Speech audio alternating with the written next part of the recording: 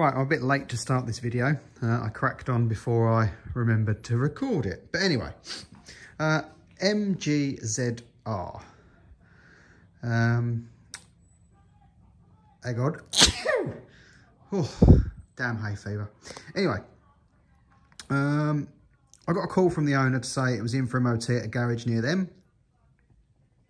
It failed miserably. Um, emissions, um, brakes, exhaust, etc. So I went and picked it up yesterday, um, got it back here.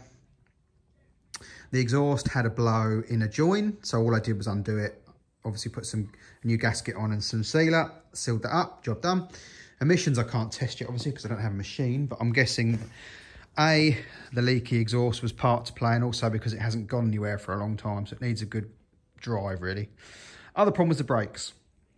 Um, the near side brake was dragging and the handbrake had no effect and the service brake, as in just the normal rear brakes, had no effect. Well, that caliper was seized solid. So I whipped that off, freed that up and put it back on. So with any luck, that will now be free. Um, hopefully it won't seize on again. Uh, I haven't tried it yet, as you can see, because the wheels are still off. Uh, the only issue, other issue I've got is a starting problem. Now, I know they've had this for a long time and they've chased it, they've changed sensors, they've checked all the timing, etc. Um, I have just double checked the timing while I was here just to make sure that seems all right. So I will demonstrate now what happens. Hang on.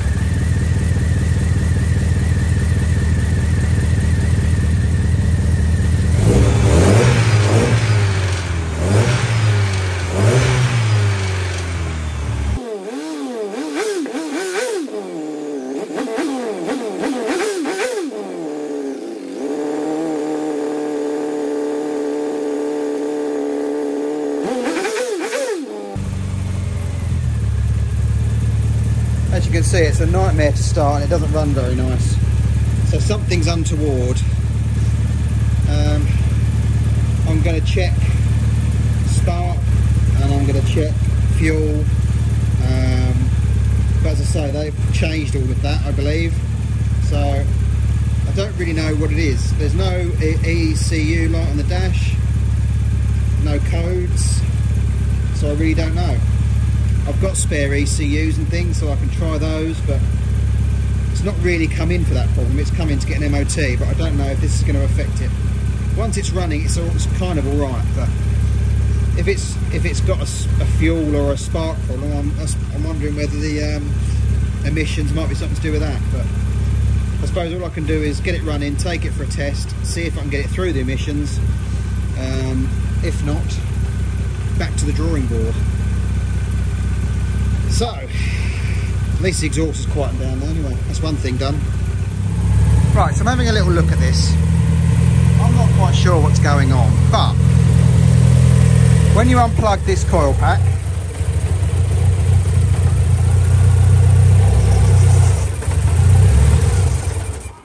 it dies, right? Which you'd expect, because that runs two cylinders. All right, so let's fire it up again.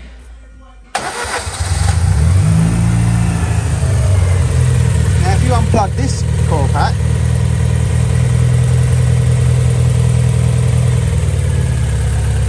doesn't really change much and it carries on running. I think I should change that and see what happens. Right, we've got the coil pack changed. Old one's down there. I've stopped for a cup of tea, let it cool down a little bit. So let's see the moment of truth.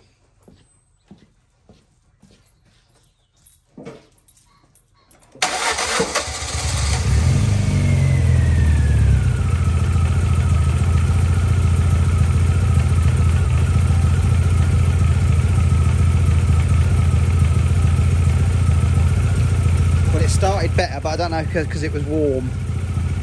Um, but it's still not idling right. Something's still not right somewhere.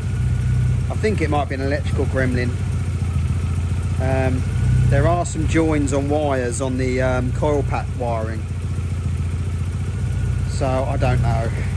I don't really want to start getting into a trying to trace the loom. I just want to get it MOT'd and get it out of the way, to be honest. Um, as I say, the previous owner, well, say the previous owner, the current owner has previously gone through everything, but I don't know. It's a shame it's only got 50,000 miles on it. Just need to find that problem.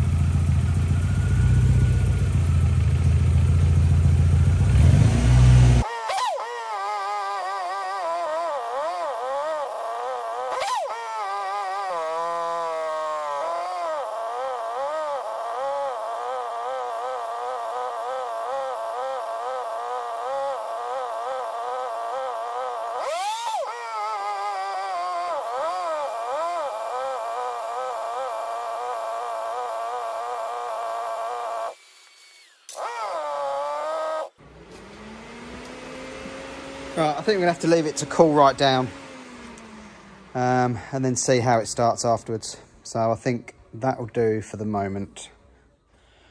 Right, it's a new morning. It's cold. Let's see. I'm not holding much hope, but you never know.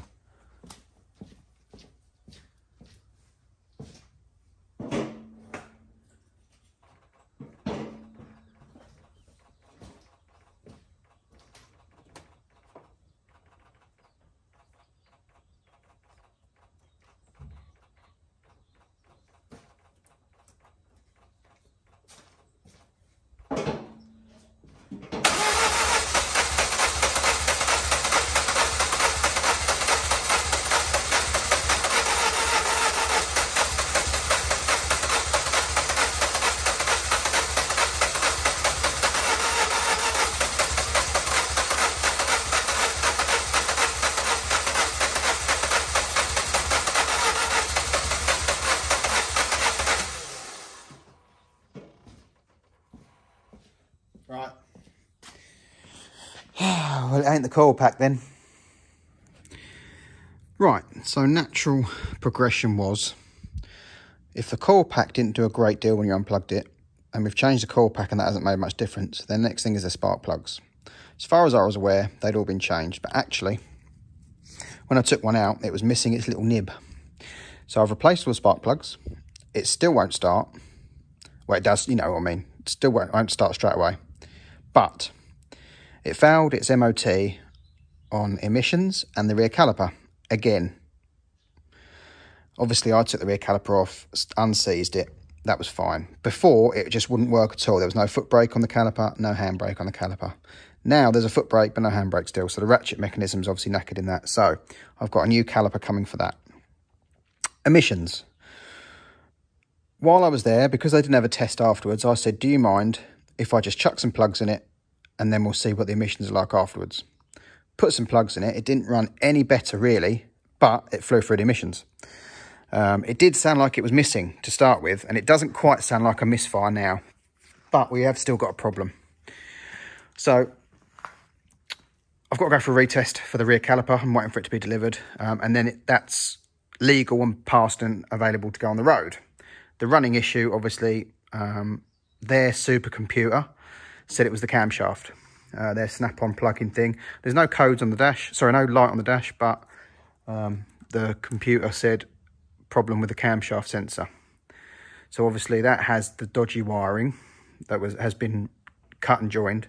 I have checked the continuity of that and that, that join is fine. So I have told the customer they need a new camshaft sensor or at least to try one.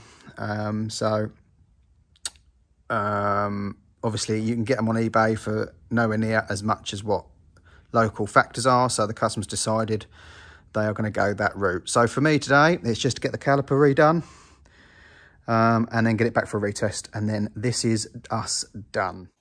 Right, well, I'm just adding this in because I completely forgot to finish that video. Um, it's got its MOT, it got retested, no problem at all, um, and has now been collected by the customer. So that is this one done.